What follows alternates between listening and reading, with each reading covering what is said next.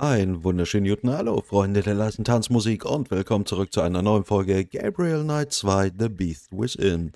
Ähm, in der letzten Folge sind wir jetzt endlich in der Jagdhütte angekommen, haben uns ein bisschen durchgefragt, einen erschreckten nackten Mann in der Wanne äh, befragt und ähm, ja, äh, haben uns ein bisschen in der Hütte äh, umgeschaut. Jetzt sind wir hier nach dem, ich glaube, erstmal letzten Gespräch aus der Hütte raus und schauen uns im Umfeld aus äh, an.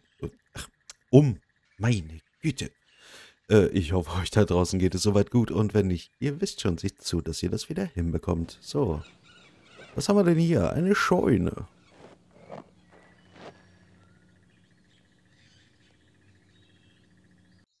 Okay, nichts zu sagen. Es ist mir lieber, die Pferde sind dort und ich bin hier. Alles klar. Dann ist das in Ordnung, wenn dir das so lieber ist.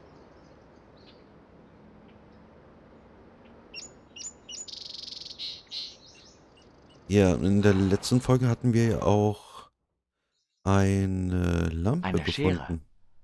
Kann ich vielleicht noch brauchen? Ja klar, Schnipp, Schnapp, Schere kann man immer brauchen. Die stecken wir in unseren unendlich großen Mantel. Ja, wir haben eine Lampe gefunden, aber da brauchen wir dann noch irgendwie ein Feuerzeug. Werkzeug. Werkzeug. Okay. Ah, wo kriegen wir jetzt nochmal das Feuerzeug her? Ich hatte erst gedacht beim Kamin, aber da schien es mir nicht so, dass da irgendwas gelegen hätte. Schauen wir uns ein bisschen im... Ah, warte, warte, warte. Meine zu wissen... Was und wie und hast du nicht gesehen? Ah. Verdammt. Das ist braun.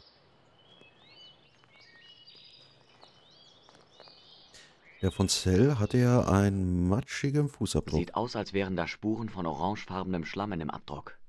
Ja, und das sieht aus wie eine Tatze. Sieht aus. Ja. Das bin ich. Ge Ja, das wissen wir. Warte mal, aber die zeigt ja eigentlich in die Richtung. Oh, ich habe das... Ja. ja, vielleicht sollte man auch nicht immer nur in eine Richtung gehen. So. Ah!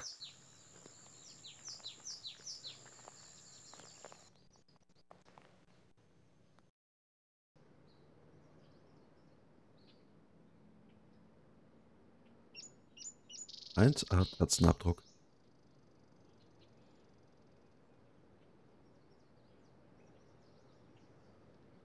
Der Tatzenabdruck ist so perfekt. Oh mein Gott, das ist eine Folge von Scooby-Doo. Von Eigner. Maske ab. Und die Zell. Erde hier ist orangefarben. Muss von ein paar Mineralien kommen. Na, wenn du das sagst, du Supergenie.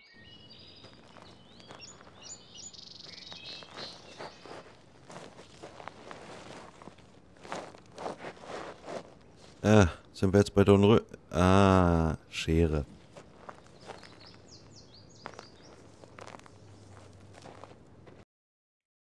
So werde ich nie vorankommen. Okay, Schere.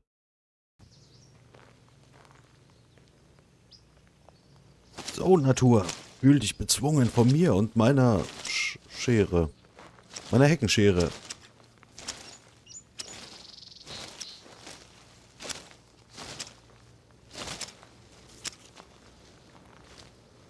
Ja, ohne die wären wir da natürlich niemals durchgekommen.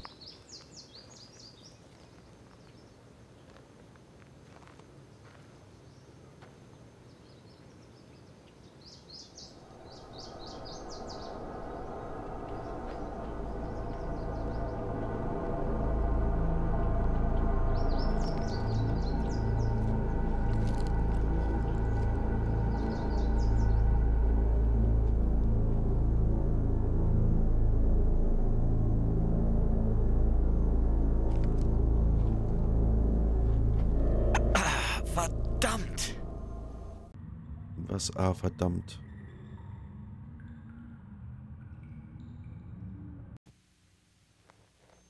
Was war denn jetzt? Ah, verdammt. Das könntest du auch ein bisschen auslegen. Hast du was gesehen? Hast du was gehört? Hast du was gerochen? Hm. Es wird wohl sein Geheimnis bleiben.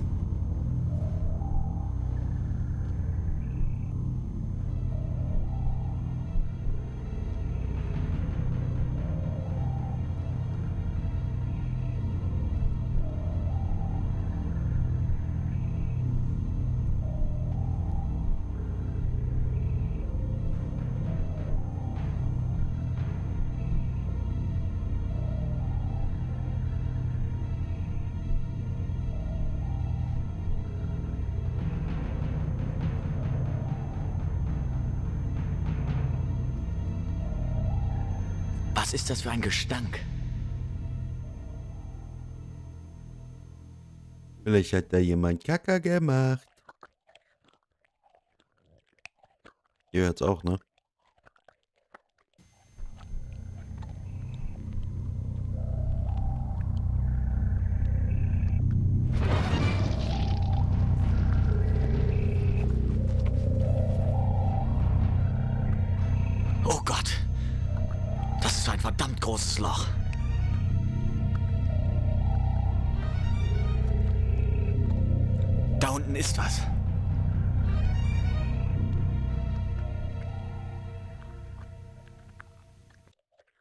Ah, ja. Oder zündet das Automat. Die Laterne wird mir nicht helfen, wenn sie nicht angezündet ist. Na, war ja klar. Okay, dann gehen wir erstmal wieder. Also brauchen wir ein Feuer für das Licht. Der Anfang ist gemacht. Nur wir können es noch nicht durchziehen.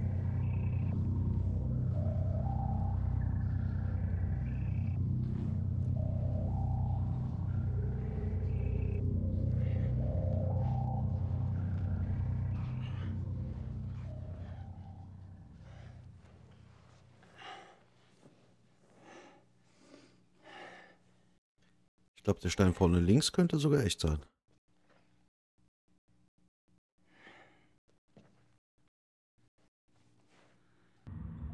Ich finde, die ziehen die Szenen manchmal so ein bisschen zu sehr in die Länge.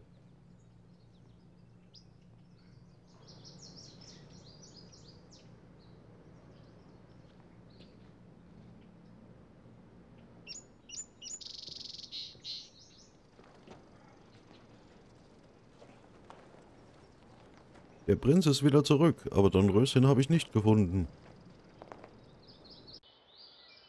Hm.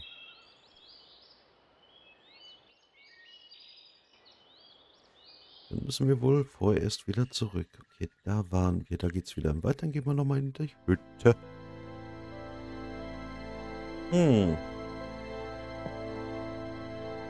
So, warte mal. Ich glaube nicht, dass Herr von Eigner mich jetzt sehen möchte.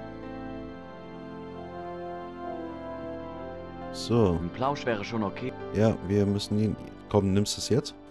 Ja, jetzt nimmt das.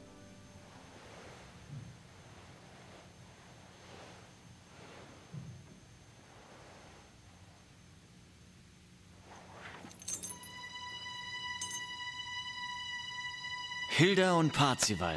Hübsche Namen. Mein Gott, Keine Sorge. Ich werde sie nicht anzeigen. Bitte, Herr Knight, das kostet mich meinen Job. Ja, ich sagte, ich tue es nicht. Wenn Sie mir genau sagen, was passiert ist. Ich habe Angst. Vor von Zell. Seine Schuld. Ich habe mich nur an seine Anweisungen gehalten. Wofür wollte von Zell die Wölfe haben? Ähm, er sagt, er wollte ein Paar haben, weil er die Verkörperung des Raubtiers in ihnen sieht. Er, er hat gesagt, er würde sie an einem sicheren Platz halten, zum Studieren.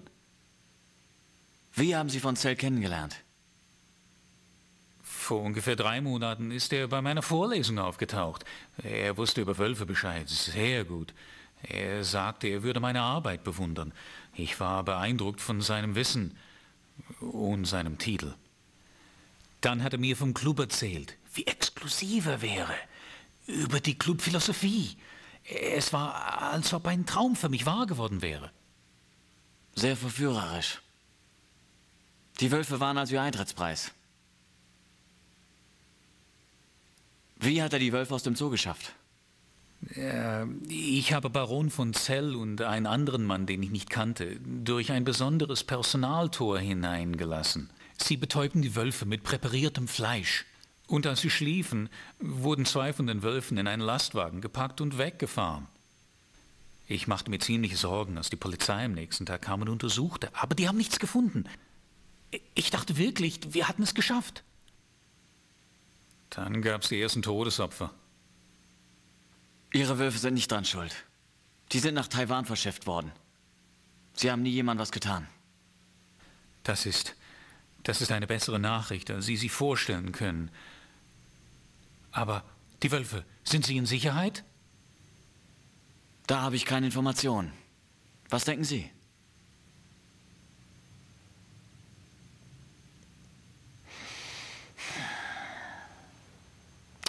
Das ist alles, was ich wissen muss. Bitte sagen Sie der Polizei nichts. Ich schwöre, ich habe Ihnen alles gesagt. Ja, ich weiß. Ich erzähle Ihr kleines, schmutziges Geheimnis nicht weiter. Immer vorsichtig bleiben. Schlafen Sie gut. Doc. Es heißt Doktor. Oh, und die Vitalhaltung. Okay, okay, okay, okay. Äh, sagt uns... Er ist beschäftigt. Nein, der Baron sagt uns auch nichts. Gut. Wo kriegen wir jetzt das Feuer her? Er will auch nichts. Am Kamin nicht. Muss doch irgendwo... Ich wünschte, jemand würde hier ein Feuer machen. Ja, wünschte ich auch. Ich wünschte, jemand würde... Ich wünschte, jemand... Hm. Kann's doch bald nicht sein. Wo krieg ich das Feuer her? Hm. Das, das war doch eigentlich beim Kamin, glaube ich. Irgendwann macht doch einer auch mal ein Feuer an. Dann gehen wir halt wieder hoch. Das bringt nichts. Das bringt nichts. Ich habe gesehen, wie er sie ab... Ich glaube nicht, dass Herr von Eigner mich jetzt sehen möchte. Dann gehen wir nochmal hier. Ich bin mir ziemlich sicher, dass Herr Preis hier drin ist. Und ich möchte sicher nicht wissen, was er gerade tut. Hm. Da waren wir, in dem Zimmer waren wir auch gewesen, nebenan waren wir auch. Ist nur wieder das olle Fenster. Oder können wir irgendwie schlafen gehen oder so? Ja, leerer Schrank, ne? Gähnende Le Ja, gähnende Leere. Ich könnte... Ich könnte nie in diesem Raum schlafen. Hm. Hm, hm, hm.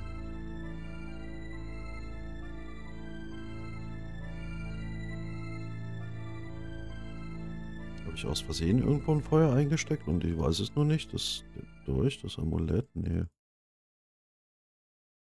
Nein. Ne, liegt doch weg. Also die Türen haben wir abgeklappert. Hier irgendwo. Ich wünschte... Ja. Warte ich mal. wünschte, jemand Nee. würde hier ein Feuer machen. Super, jetzt geht das Gesuche wieder los. Ich das? Das bin ich, Gabriel. ja, das wissen Nichts, wir. was ich gebrauchen könnte. Habe ich im Wald was übersehen irgendwie? Da waren wir. Da können wir nicht hin, dann gehen wir mal hier.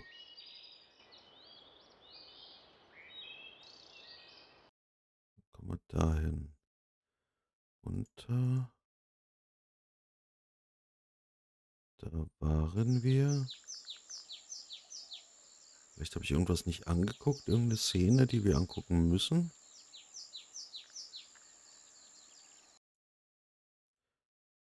Was ist das hier? Nein, nicht zurück. Wollte die Lichtung begutachten. Die Schlucht ist tief. Die Schlucht ist... Okay. Die Schlucht ist anscheinend tief. Ja,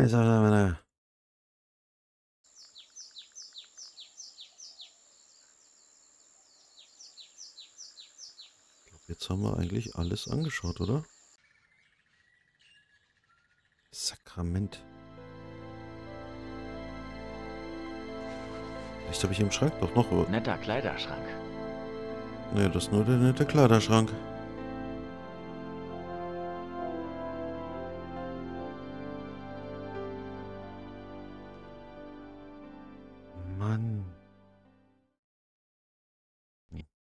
Ich wünschte, jemand würde hier ein... Ja, das wünschte ich auch.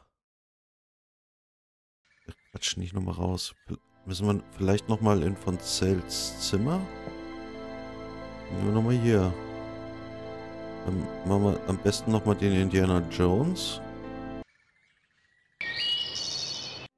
Na. Hallo. Äh, ist, oh. Kurz nach ab kommt hier weiter. So.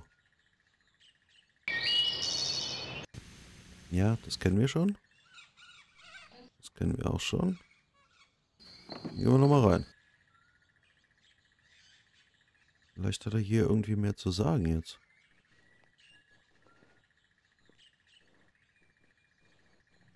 Aber warte mal. Da ist nichts Außergewöhnliches. Ja, doch. Aber das haben wir ja schon gesehen. Na hallo. Wer ist denn da barfuß im Schlamm rumgesprungen? In orangem Schlamm. Ja, den hatten wir gesehen, so einen orangen Schlamm.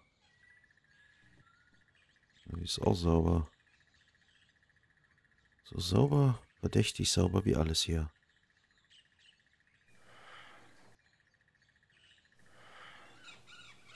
Ja, der macht immer dasselbe. Hier ist absolut nichts. Also durchsucht das Bett nochmal. Das hatten wir schon irgendwo was in... Ja, das ist nur wieder das olle Tagebuch. Also Notizbuch. Das vielleicht irgendwie... Umblättern auch nicht.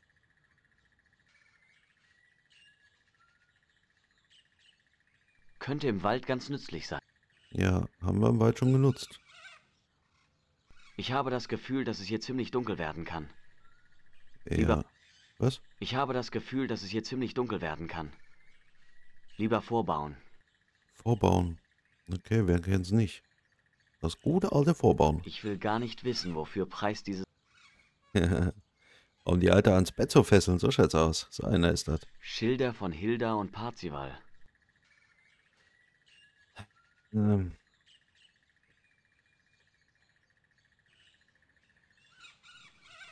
Dann klettern wir wieder zurück. Die machen schon die Töne, als wäre Nacht, aber äh, irgendwie angezündet ist auch nichts.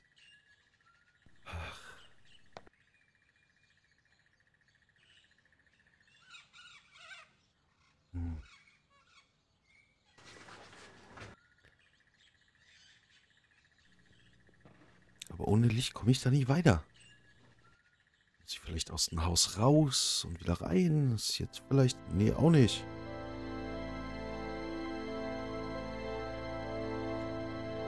Ah.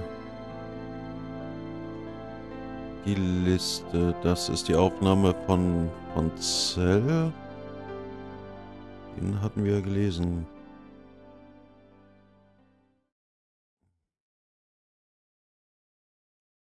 Mit Ihnen sprechen. Ein- Was? Ein Drink wäre jetzt das Richtige. Ja, dann gönn dir. Aber ich habe das Gefühl, es ist besser, wachsam zu bleiben.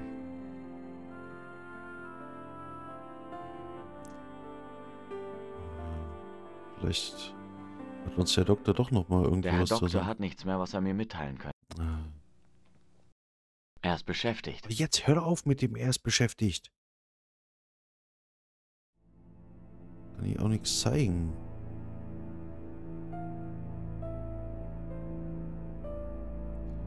Notizbuch. Mein Notizbuch. ja. Mein Notizbuch. Ja, nutzen können wir es auch nicht. Ähm. Auch nicht. Es ist.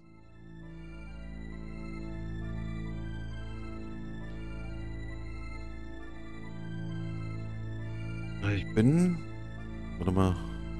Friedrich würde es. Friedrich würde. Friedrich würde. Nee, würde das alles nicht Das- wollen. Ich gl-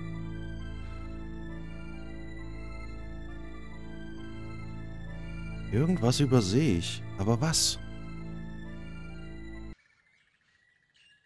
Da ist ein Fenstersims. Kann ich Vielleicht mich hier auch noch Das ist eine absagen? interessante Idee. Aber diese Seite des Ge Ja. Da draußen möchte ich mich nicht.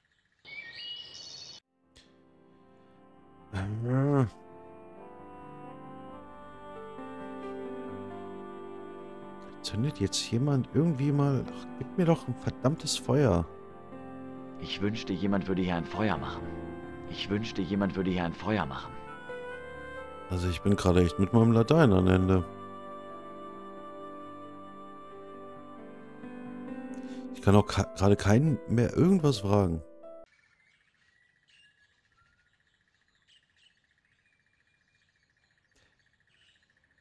Nee, Freunde, aber so lasse ich euch jetzt, will ich euch jetzt auch nicht hängen lassen. Ähm, ich sage mal, äh, wir sehen uns gleich wieder. Ich äh, klicke mich mal ein bisschen durch und schau mal, ob ich da was rausfinde. Also bis gleich. So, Freunde, da sind wir wieder. Also, da habe ich wohl etwas übersehen. Wir sind nämlich jetzt wieder in von Zells Zimmer. Und beim ersten Durchsuchen habe ich etwas übersehen in seinem Notizbuch. Wenn ich mich nicht täusche, hat Großberg versucht, ein nettes Sümmchen aus der Aufregung zu schlagen, die das Verschwinden der Wölfe verursacht hat. Von Zell scheint dieser neue Partner zu sein, von dem Großberg Dorn erzählt hat. Kann mir nicht vorstellen, dass von Zell die Idee gefallen hat. Baron von Zell. In der Zeitung steht, dass die entlaufenen Wölfe schlimme Sachen machen. Es amüsiert mich daran zu denken, dass Sie und ich wissen, dass die Zoowölfe überhaupt nicht schuld sein können und dass dies außer uns niemand weiß. Ich fühle mich moralisch verpflichtet, es der Polizei mitzuteilen, aber ich bin Geschäftsmann und könnte dazu überredet werden, gegen meinen Instinkt zu handeln. Alle Zeichen ihr, ähm, als Zeichen ihres guten Willens würden beispielsweise 500.000 D-Mark mein Gewissen beruhigen. Ich werde auf Ihre Antwort zwei Tage warten. Mhm. Wenn ich mich nicht täusche, hat Großberg versucht, ein net... Wenn ich Großberg. mich nicht täusche... Ja. Und das habe ich nämlich beim ersten Mal durchschauen übersehen. So. Äh, Quatsch. Geh zurück. Und dann können wir nämlich jetzt wieder zurück. So. Wir machen wieder den Indiana Jones, aber das kennen wir ja schon. So, marschieren wir raus. Und dann hoffe ich, jetzt haben wir Feuer. Und hier oben sind Streichhölzer.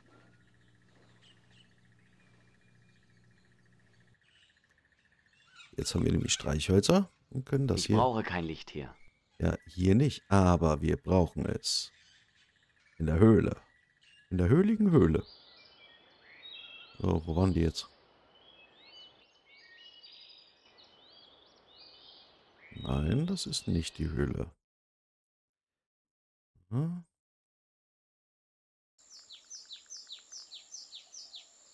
Hier. Hier war die Höhle. Ja, das kennen wir schon. Dann kriegen wir hier wieder durch. Und jetzt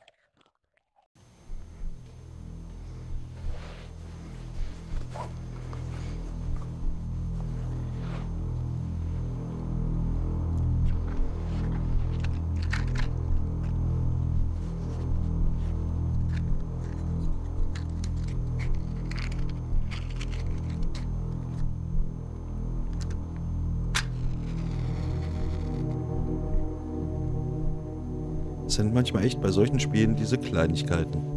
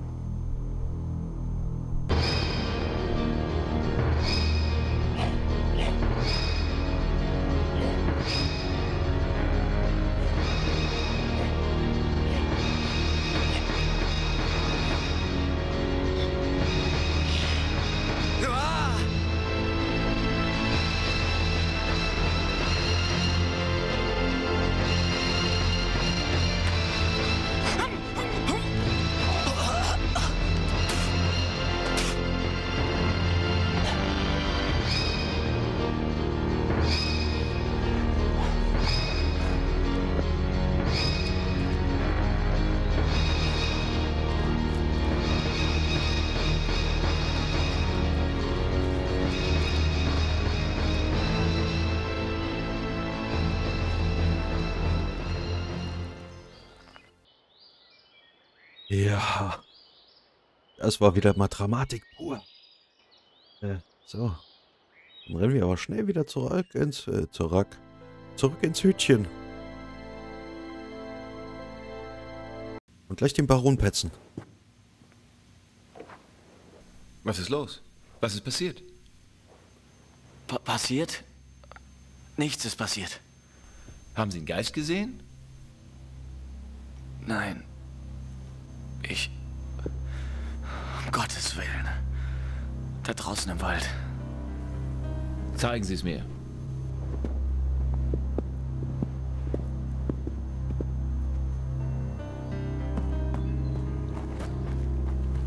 Gabriel! Da. Wo gehen Sie hin? Da drin.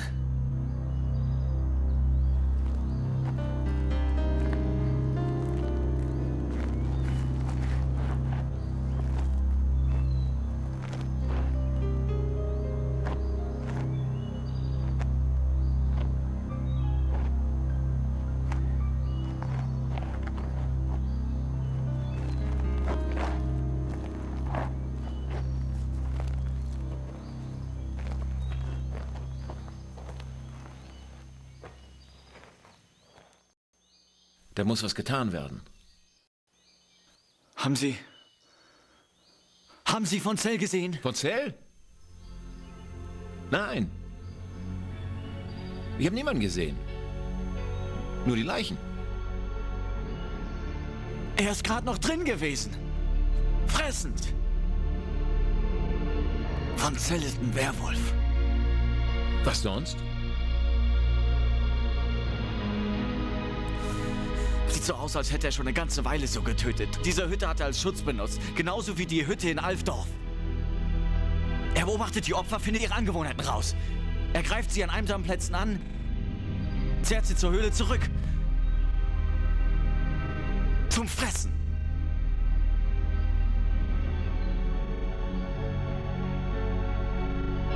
Die Opfer werden vermisst gemeldet, da man nie eine Leiche findet. Ponzell ist vorsichtig, er passt auf, dass ihn keiner als Wolf sieht. Eine Frau hat ihn gesehen. Und niemand hat's geglaubt. Aber dann passierte was, ich weiß nicht warum. Fonzell kochte den Plan aus, die Wölfe aus dem Zoo zu stehlen. Wölfe, auf die man die Morde schieben konnte. Er brauchte eine Hilfsperson. Also nahm er Klingmann, der dieser dem Club beitreten wollte. Er versprach, ein gutes Wort einzulegen, wenn es funktionieren würde. Aber dann musste er die Wölfe loswerden. Eine Garantie, dass die Polizei sie nicht finden würde. Er wusste, dass der Club exotische Tiere über den Schwarzmarkt beschaffte, seit Jahren. Von Eigner hatte hohe Schulden bei Fonzell. Fonzell bot etwas nachzulassen, als Gegenleistung für den Namen des Kontaktmannes bei den Tiergeschäften. Der Name des Mannes war Großberg. Großberg war gerne bereit, die Wölfe aus dem Weg zu schaffen, für eine Gebühr. Aber Großberg war habgierig. Als er in der Zeitung von den Morden las, erpresste er dann von Zell. Da hat von Zell ihn ermordet. Ich wusste, dass von Zell ein echtes Problem hat. Aber das ist kaum zu glauben. Ja, aber wahr. Wir müssen die Polizei holen. Ich kenne den Mann, der mit dem Fall betraut ist. Nein, die Polizei würde uns nicht glauben. Der durchschnittliche Polizeiverstand kann mit so etwas nicht umgehen. Außerdem, ich bin verantwortlich für von Zell. Ich kannte die Macht der Philosophie, aber mir war nicht bewusst, dass sie jemanden so weit bringen könnte. Schreckliches Ende. Ich habe das miterschaffen. Ich muss es aufhalten. Mit Ihrer Hilfe. Was schlagen Sie vor? Dass wir beide, Sie und ich, ihn jagen. Heute Nacht. Oh Gott. Ich weiß nicht. Deshalb sind Sie doch in den Club gekommen, oder nicht? Um Tony Hubers Mörderer zu jagen und zur Strecke zu bringen. Das wissen Sie? Sie sind nicht der Einzige, der Fragen stellen kann. Bin froh, dass Sie hier sind. Jetzt müssen wir handeln. Kommen Sie um Mitternacht zum Stall. Bis dahin. Seien Sie unauffällig. Die anderen könnten uns in die Quere kommen. In Ordnung? Also heute Nacht.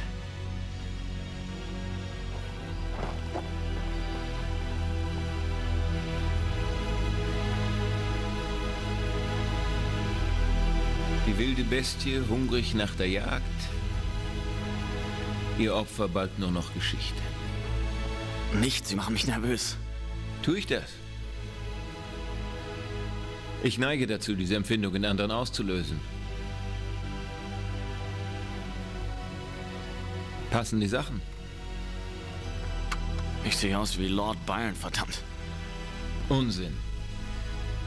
Sie sehen viel besser aus als er. Sie können das Zeug heute Nacht gut brauchen.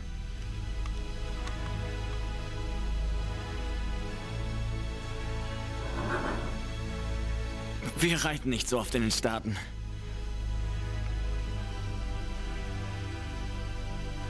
Wir lassen die Pferde hier. Das Reiten ist nachts zu gefährlich.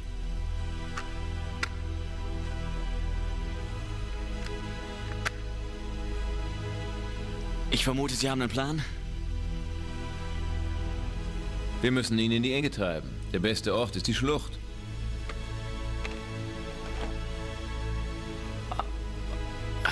Ich glaube, ich spiele lieber defensiv. Sie haben sicher Ihre eigenen Methoden. Aber wenn ich Sie wäre, blieb ich nah bei.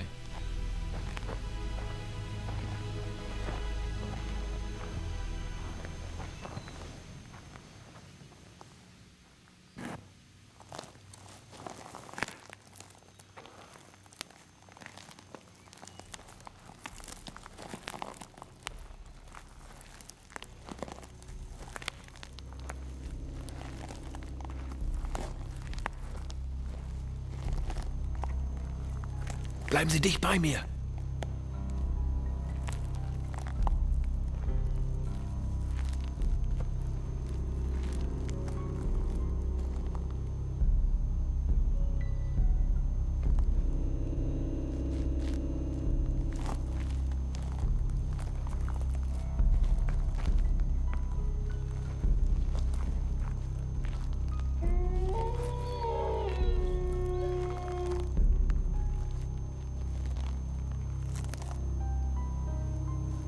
Friedrich!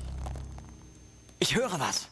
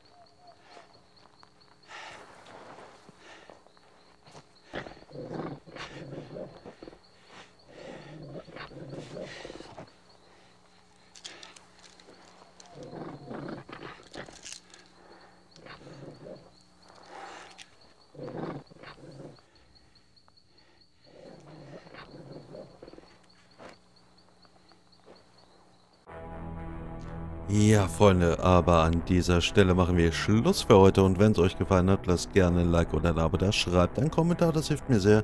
Aber Hauptsache wie immer, ihr schaut das Video. Bis zum nächsten Mal, euer Scotty. Ciao, ciao.